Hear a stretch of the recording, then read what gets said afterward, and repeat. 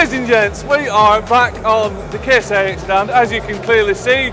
Now we are going to talk harvesters. We've got uh, Mr. Niels Peterson, who is a rare combination of, well, he's Danish born, Australian upbringing, and back to Germany. And he's back to Germany to talk about combines with a fella from Lancashire. So yeah. this is going to be a bit of a this crack. Is really this good. is going to be a yes, crack. Really this. Yep. So combines. Obviously, you've got the 160 series now. Yes. You got your 260 series now, yes. which is the larger, bigger, bigger brother to that. Yep.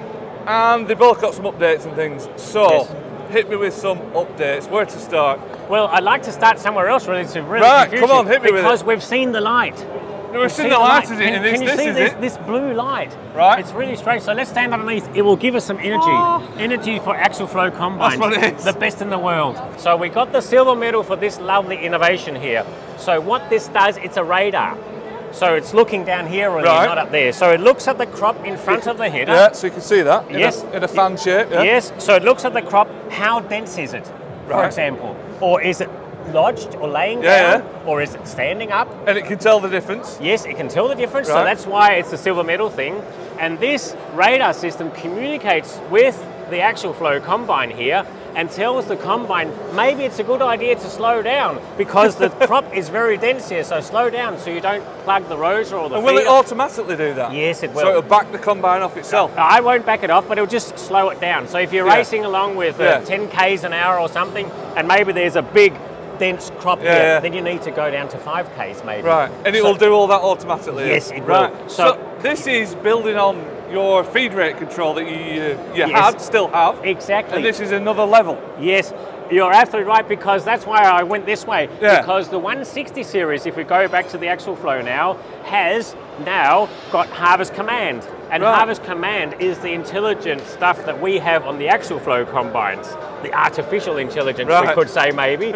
So that that's one level. So we can do that on the series called 160. Yeah. And now we can combine it with this header automation and we can get a much more clever combine right. which can have much more capacity so and less stops. Rather than, rather than be reactive, it's proactive now. Yes, that's how we want it's to be. It's thinking for itself yes, a little bit more. Yep, we're not always good at that. um, the last thing I want to say about this system here is yep. that it also can measure the height of the header because today usually we can't see it here, but we have these things underneath That's it, the header. skids, yeah. Yeah, hockey sticks now. Yeah. um, so we can use the radar system to measure the height, so we don't need it. Right. Yeah, so it's so free. there. Yeah. So we take out a little bit of wearing parts as well. And well, you, got me there, didn't you? So yeah, so so maybe it's a bit of a long speech about that, but if we just look at the 160 series behind us here, yeah. yes, it's it's it was called 150 series previously, and now it's called the 160 because we've stuffed in the artificial intelligence yeah. now, so it can has all the sensors. It has the grain camera, which can look at the quality in the grain tank. The grain tank's become a bit bigger, so we've got a bit more room for all the higher quality grain which an axial flow makes. So uh, that's how it is, you know, there's no cracked brain. So, well, maybe we should move on. You can. Yeah. Um, on, Simon, if you can keep up. sorry. So, where are we heading to next? Yeah, well, I'd like to show you the 260 series. Maybe we can start up on this side. Yeah. Um, so the 250 series has been replaced by the 260 series. Right. I bet So- they were up all night thinking of that one, weren't Yeah, what's that all about? so there's three three models in the 260 series, a 72, 82 and a 9260. And the biggest one, which is here now, has 634 horsepower on the engine. Yeah. Um, but the 260 series, um, the, the real main update on it is it has these new screens which we might be able to see from here, otherwise we need to go into the cab. Right. No worries. So it's like having two TV screens now. Uh, one TV screen for watching all the lovely movies when you don't know what to do, Right. and the other screen for you know checking the combines, uh, how it's set up, and the harvest command.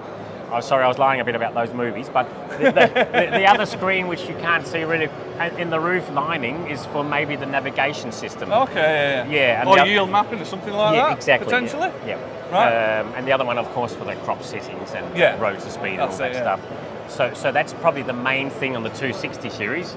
Um, also, a lovely new seat in there for the operator with a bit of massage in your Oh, bum I and like a so bit on. of that. Yep. So uh, there's always a lot of focus on the, on, you know, on the pilot or the driver, whatever you want to call him. But he has a lovely feeling of being in the in the Yeah, combine. keep him So- happy. Yeah, exactly. So, so that is the main news on that one, really. Um, still the same grain tank capacity of 14,500 Yeah. litres.